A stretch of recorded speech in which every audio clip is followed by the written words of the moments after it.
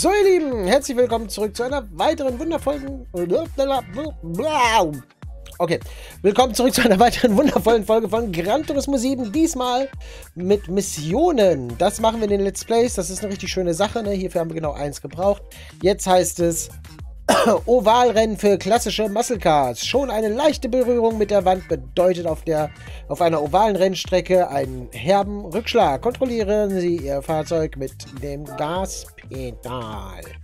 Ja, das äh, ist eine sehr gute Idee. Ich äh, habe aber kein Gaspedal. Ich habe nur einen Trigger. Und also das, vielleicht sollte ich mir so eine Triggerverlängerung holen, dass man das noch genauer dann irgendwie steuern kann. Äh, Northern Isle Speedway ist die Strecke, meine Damen und Herren. Und äh, hier werden wir in die Verzweiflung geraten. Das dürfte eigentlich auch nicht la lange laden. Das dauert ja nicht lange. Das ist ja nicht viel. So, was fahren wir denn eigentlich? Habe ich jetzt gar nicht geguckt. Fahren wir Camaro? Ein Camaro! So, wir haben fünf winzig kleine Runden Zeit um uns den ersten Platz zu holen.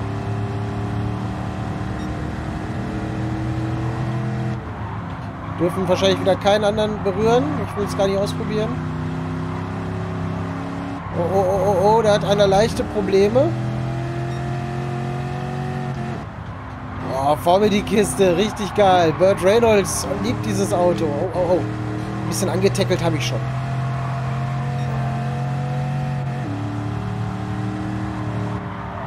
Ah, der Wagen ist ein eisgekochte Schlitzohr eben, der schwarze. Richtig gut.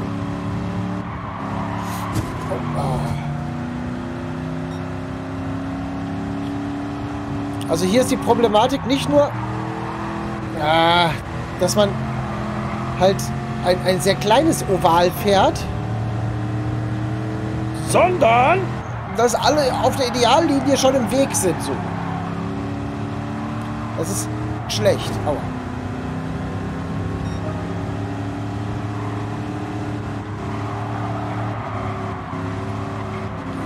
So. Freie Bahn mit Marzipan. Jetzt können wir hier schön durch. Hoffentlich kriegen wir den Trans da vorne noch ein.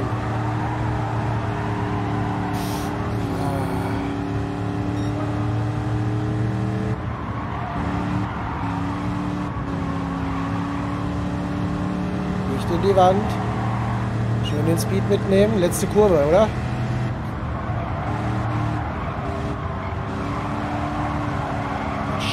Macke ist aus der Kurve. Und nein! Ach, und da guckt Sarah noch so freundlich und gehässig, die blöde Kuh. Versuchen wir nochmal unser Glück. Knapp war es, knapp. Aber ich glaube, diesmal schaffen wir es, weil ich brauchte eben erstmal so ein bisschen äh, Einarbeitungszeit auch. Jetzt weiß ich, dass es nicht schlimm ist, jemanden ein bisschen zu rempeln oder die Wand zu berühren.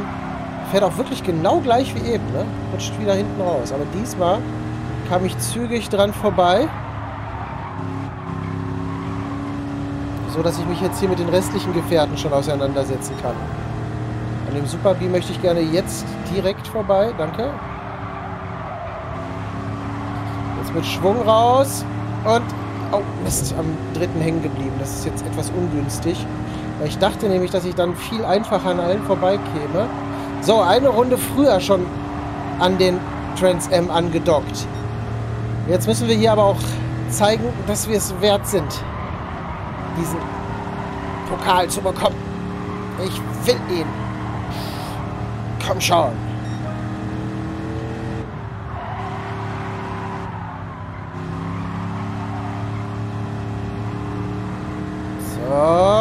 Jetzt hole ich noch.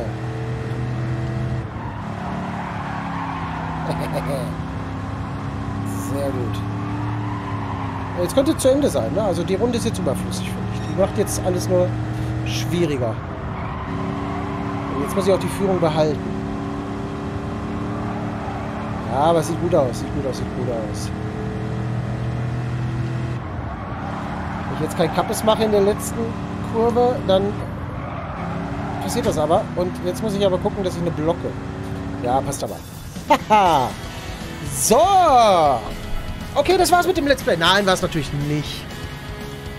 Aber das war doch schon mal zügig, ne? Guck mal, so kriegt man auch fünf Minuten um. So. Sehr, sehr angenehm. Schön. Ja, ein bisschen Belohnung Elefanz hier. Das, das bisschen, das ja. Gebe ich ja aus, wenn ich die Karre lackieren lasse wieder. Also bitte. Bitch, please. So, jetzt fahren wir hier. Guck mal, was fahren wir denn? Überholen Sie alle Samba-Busse in dem äh, was in den steil ansteigenden Kurven von Alsace. Äh, sie müssen sich durch ducken, sie müssen sich ducken und durch die engen Passagen schlängeln. Und ich fahre den sportlichen Käfer, ja? Na dann. Gehen wir es an. Das werden wir ja wohl mal easy peasy auch hinbekommen, oder? Was meint ihr? Ich denke doch.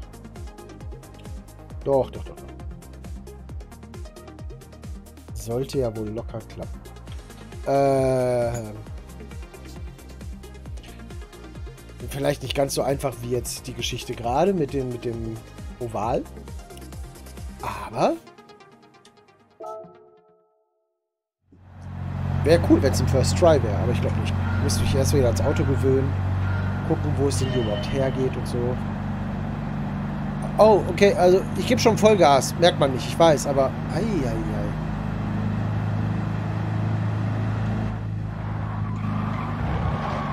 Platz da, jetzt kommt Herbie. Oh Gott, ich komme hier gar nicht den Berg hoch. Weg da, weg da, weg da. Ich habe noch Schwung. Geht, fahrt mir aus dem Weg. Ich habe Schwung. Ich habe... Fast den Berg nicht raufgekommen.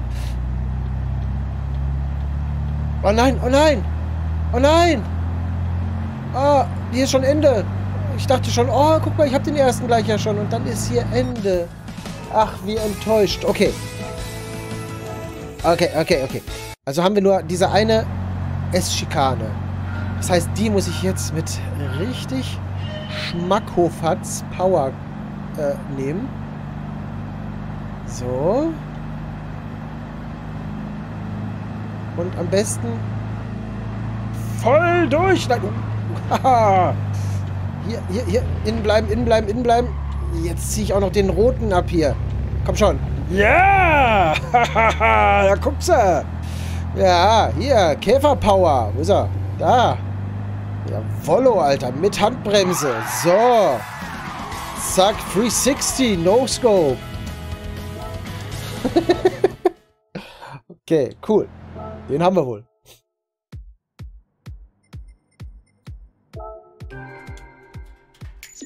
Ja, wer hätte gedacht, dass das so schnell geht? Ich habe jetzt echt gedacht, das dauert länger. Aber, ja, ne, jetzt, jetzt sind wir da. Ne? So, jetzt, jetzt hier mit dem Jeep.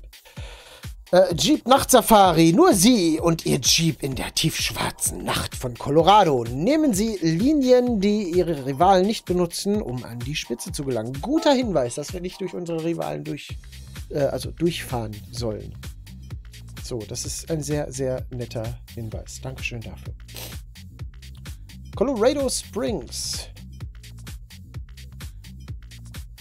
Die Mission lautet Jeep Nachtsafari.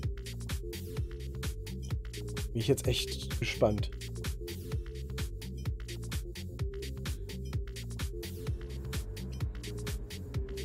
Mit einem alten Willys Jeep von 1945. Ja, geil.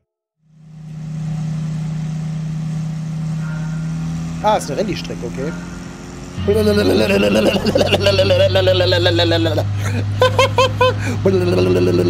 Das finde ich voll gut. Habe ich Fernlicht? Nö. Ah, ich kann aber Lichthupe geben. Habe ich dann Nerven? Weg, weg, weg, weg, weg. Ich muss hierher. Weg. Oh. Fahr doch mal zur Seite, Bro.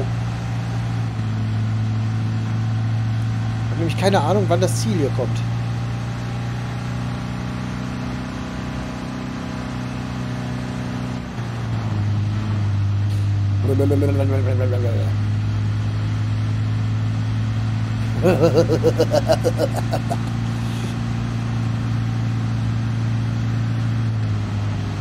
Jetzt nur noch den hier abziehen. Dann habe ich's. Komm schon. Komm, komm, nicht berührt. Oh, oh, oh, oh, oh. So knapp, so knapp, so knapp. Ah.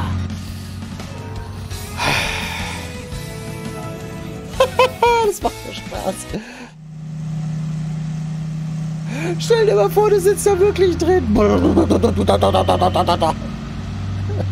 Ist dir kalt? Nein, nein, nein, nein, nein, nein, nein, nein. Warum zitterst du?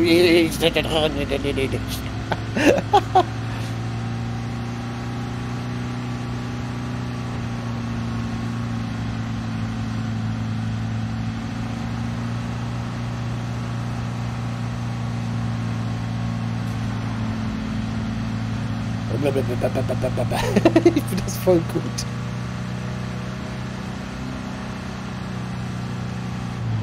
Hüpf macht der. Komm, nur noch diesen einen da kriegen. Aber der ist ganz schön weit weg, den schaffe ich nicht, glaube ich. Jetzt hinter der Rechtskurve ist das Ziel, ne?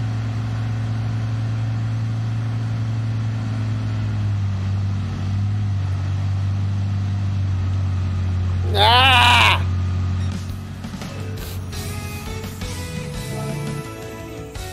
Also der blockiert wirklich gut die Linie da.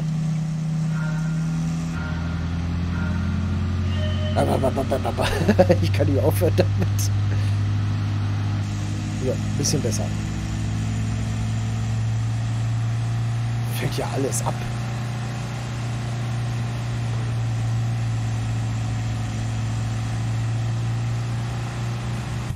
Schub's mich nicht.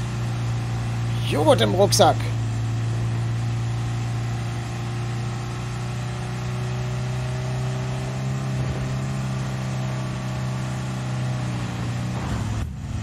Zack. Machen wir das auf die harte Tour. Nur die Harten kommen im Garten. Weichen können sich schleichen.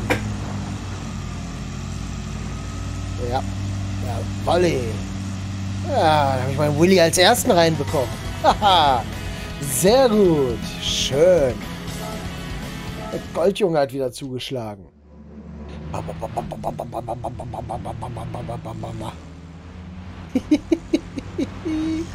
Lustig. Ja, gute Mission. Gute Mission. Mir sehr gut gefallen.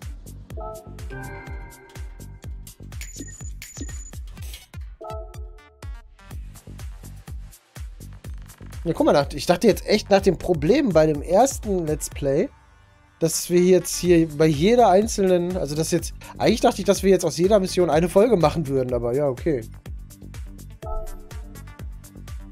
Wahrscheinlich habe ich dann aber eine Mission einfach, die äh, drei Folgen dauert oder so. Das wird sich schon irgendwie ausgleichen. Es sind ja noch genug Missionen da. Und wir haben ja immer noch die Superlizenz und ach, ganz viel. Dieses Strecken kennenlernen Dingens. Ah, Leute, da wird noch richtig was kommen. Da ist noch gut zu tun. Schöne Sache ist das. Schöne Sache. So, Circuit Saint Croix. So, eine Herausforderung, bei der Sie versuchen, auf einem begrenzten Streckenabschnitt Ihre Höchstgeschwindigkeit zu erreichen. Im Windschatten hinter anderen Autos können Sie Ihre Geschwindigkeit stark erhöhen. 195 km/h ist Gold. Gold. Jetzt sind wir bei 0. Das stimmt doch gar nicht. So, ah, okay, dann weiß ich auch, wo das... Nee, doch nicht. Ich dachte, hä? Okay.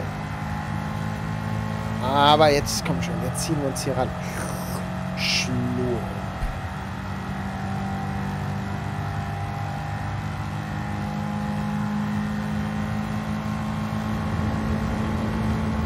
Jetzt richtig ziehen. 10, 10, 90, 91, 92, 93, 94, 95. Jawoll! First try, Bitches! Windschatten habe ich drauf. Okay, das war nun wirklich die einfachste von allen. Fahr einfach hinter den anderen Autos her.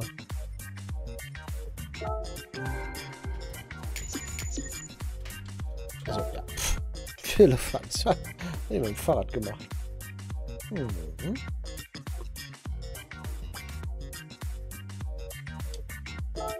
So, kriegen wir das auch noch hin? Oder muss das auf die nächste Folge verlegt werden? Werden wir sehen. Tokyo es Expressway. Eine Spur breit heißt die Mission. Sollte es vielleicht heißen, eine Spur zu breit? Hm, wir werden sehen. Ich finde es übrigens sehr schade und ich hoffe, dass das nachgereicht wird, dass äh, die Special Stages nicht dabei sind. Also es gibt nur die Special Stage X oder so, die halt super lang ist Höchstgeschwindigkeitstest. Aber die Special Stage Route 6 oder äh, ja, halt die, die Dinger so, die fehlen halt so. Das, das ist ein bisschen schade. Die waren immer richtig cool. So, überholen Sie auf dem engen Tokyo Expressway. Wechseln Sie, wenn nötig, die Ideallinie, um vorbeizukommen. Danke für diesen Hinweis. Mit einem Toyota Crown Athlete.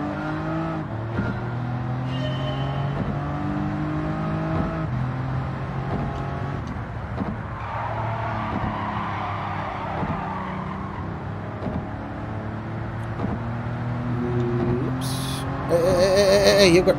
Ah, okay, berühren ist nicht. Berühren, also äh, anfummeln darf man nicht. Immer eine Armlänge Abstand halt. Ich verstehe. Ich finde übrigens geil, dass halt diese, diese Metall-Ausdehnungsfugen hier, wenn man da mit dem Reifen drüber fährt, dass die so pock, pock, pock, pock machen. Okay, Wand darf man auch nicht. Ja, gut, okay. War alles Absicht, wollte ich, wollte ich nur mal. Ich habe für einen Freund gefragt. So. Das wird ein Ding, das wird lange dauern, glaube ich, hier. Weil hier sind nur Autos und Wände. Hier gibt's keine... Ach, leck mich doch einmal. Ich werde hier viel fluchen. Bam, bam, bam, bam, bam.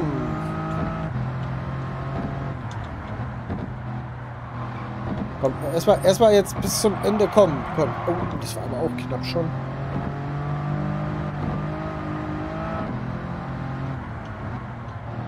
Komme hier wahrscheinlich gar nicht an den vorbei überhaupt.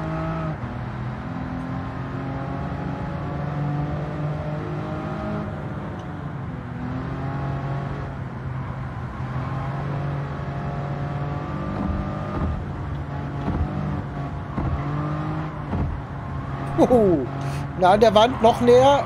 Bremsen. Uh, knapp. Ich sehe nichts.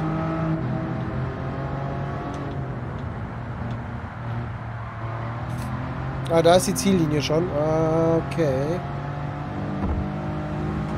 Oh, nochmal ganz hinterlistig aus dem Nichts weiter geworden. Okay, Leute, mit dieser herben Enttäuschung hört diese eine Folge auf. Vor uns ist ein Golf 1 GTI, dem wir nochmal kurz äh, das Hakenzeichen vom Heck geballert haben.